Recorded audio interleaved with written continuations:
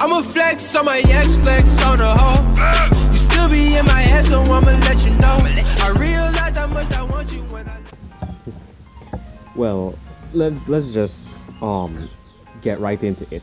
The first tip I would give you is choosing the right legend. Think of it as this: What legend do you have? Do you have? Do you see in the store, right? Which legend has the easiest weapons to use, or which weapons are you good at? Are you good at the bow, the rocket lance, whatever? Try and find a legend with those two weapons. But if you are good at the katars and rocket lance, the legend for that has not come out. But the closest thing you can get to that to a legend that has both the katars and rocket lance or gauntlets and rocket lance is in switchcraft. And it, basically you could test out how good you are with those two weapon configurations. On- The only unfortunate thing about it is that you only get one life to do it. Anyhow, let's get into it. Let's get into it. You see, I don't have any mains in Brawlhalla because no legend is good enough for um, me to use. So I'll just uh, select. I'll just select Orion. Orion is by far one of the easiest legends to use, but he's also um, the most. Oh, oh, I made custom games. I was just playing a game with a friend. Yeah. Orion is an easy legend to use, but also he is the most spam spammable legend, and we don't want that. We don't need any more spammers in Brawlhalla. No, I would suggest trying to find out. Let I would suggest starting off with Orion, but don't just spam with him. You have to try and figure out combos like this. Oops. So you know, there's certain combos that are like very easy and others are very hard. And like, I covered this in like a, um, an older video. It's quite recent actually. I, I think it came out like last month or something like that, where I talk about stat, um, stats and do Brawlhalla stats even work. Yes, anyhow, find a legend that you think you could utilize properly. Now, I will tell you this right now. The blasters and katars and cannon probably is the hardest weapons to use in the game. So I would recommend you starting off with something, you know, something lesser than that. Start off with the gauntlet and maybe the spear. I would say the rocket lance is a more advanced play, but just start off with the gauntlet and spear does Wu Shang. I have a cousin who um, is good at Wu Shang, though he doesn't play much. He's not bad with that legend. He just had a couple weeks of training and he was good. He became good with it. He learned the combos. He did the research to find combos. That is something else. Find go on YouTube and look for videos with, you know, just look for Brawlhalla combo videos. You could learn more. And when you find those videos, you must train and um, train and train and train, practice, practice, practice them over and over. But you must realize that in when you train in training mode, it's going to be way different than actually utilizing it in different modes like experimental. Yeah, you can see how I'm using Nix right now. And you see, it's not a very e it's a very easy combo.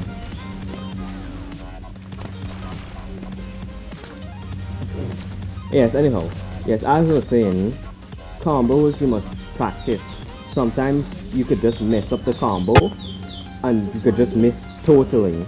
You could sometimes press the wrong buttons and just do a dash like no when you play Brawlhalla, when I would recommend as I said, when you want to use this weapon I recommend you to be a high silver legend, like let me say silver five.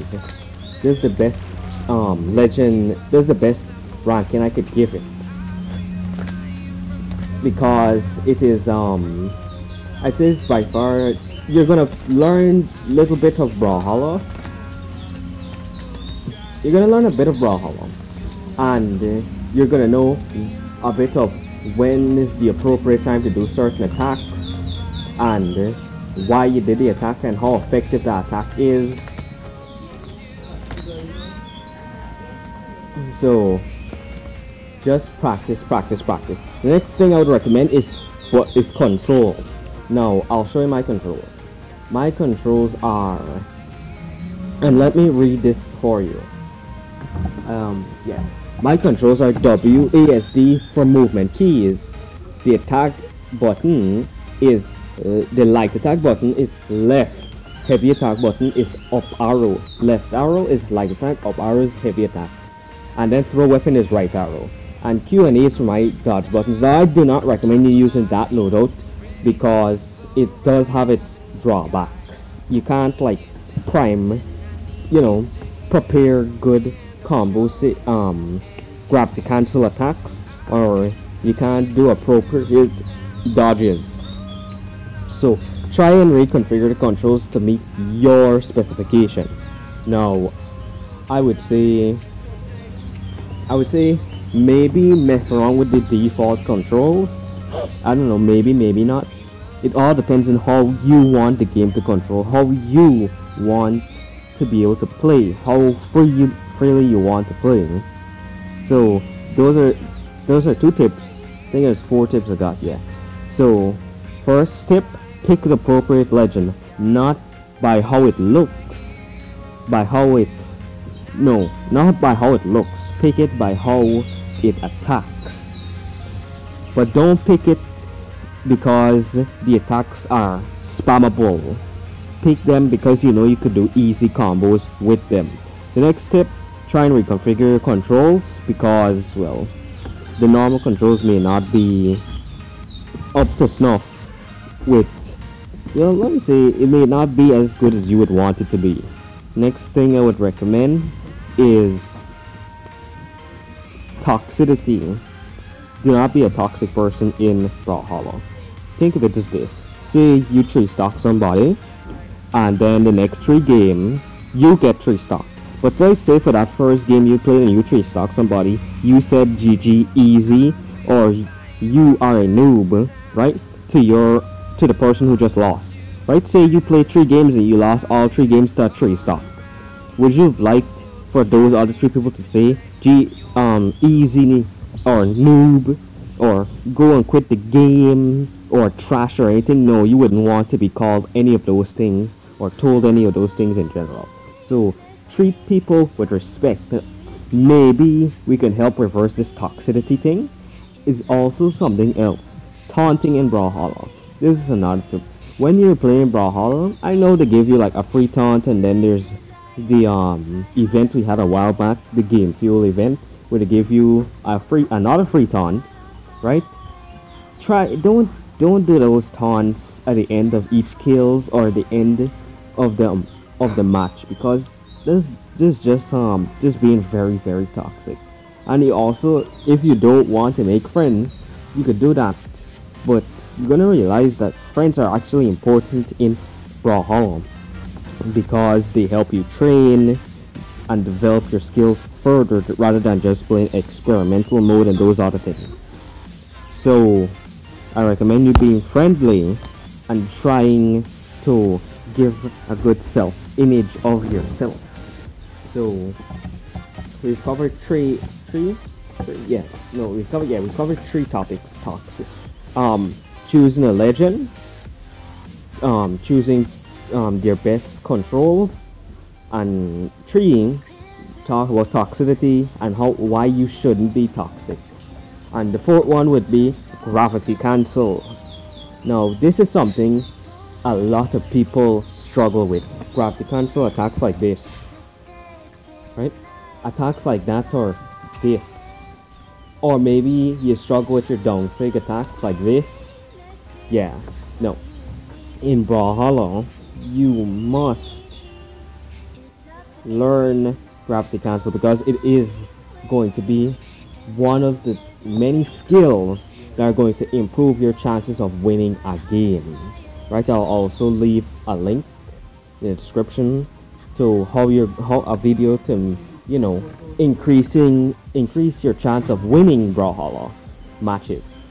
Anyhow, as I was saying, gravity cancel attacks are not the easiest attacks to do, but they're still doable. They're not impossible. Maybe with your, maybe with you know, your control scheme, it might be hard to do. So that's why I would recommend you changing your um control scheme. You can see what I'm able to do on the screen. I do not have on the settings. There's also something in the settings that I'm pretty sure many of you do not know about. I think this is it. Yeah, that is the settings. When you do that, let me see if it works. No, I activated it for the wrong keyboard. Let me just change that back. Okay, good. There's also this settings in the game that will allow you blaster and scythe legends to do things like this. Now, I noticed that when people have this thing turned on, they're more likely to spam. So, don't don't do that. Don't don't go and spam in Brawlhalla because like you're just gonna ruin everything for everybody or for the person who's playing with you. So yeah, as I was saying, choose the appropriate legend. Legends. Also, yes, look, this is the fifth and final tip, and this is gonna be more in depth on comboing. When you are playing Brawlhalla, go and I said earlier in this video, I believe I said this earlier in the video, go and find videos that will help improve Im help improve your combo knowledge or how much combos you do know. Because combos are the best way to do damage. Rather than just hitting them with a single blunt attack you could be able to keep dishing out that dishing out more attack to do more damage over a longer period period of time so I'll also leave a combo video at the end of this video for Vector. Or should I do Petra? I'll do Petra. Um, a combo video for Petra. Oh yeah, and the orb. I would say the orb is like middle class. Alright, let me just put on the classes like this. The gauntlet and spear. Yeah, I'd say the gauntlet and spear. Easiest weapons to use. I, I believe it's the easiest weapons to use. Middle class weapons will go with the hammer, the axe, the no, yeah, the, the hammer, the axe, the orb, the yeah, the yeah the orb, yeah, and then the high class legend, the high class uh, weapons, high class the hardest to use, the kataras, the blasters, the cannon, yeah, and the scythe. Well, actually, no, the scythe the scythe is like middle class, so maybe you could use it after you like reach gold and such. That way you could maximize your potential. But you could also start early to get a head start. So, anyhow, those are some tips for Brawlhalla. This is a summary of it on the screen. Yes, I am Jet the Gamer Boss. Please like and subscribe and share this video. And um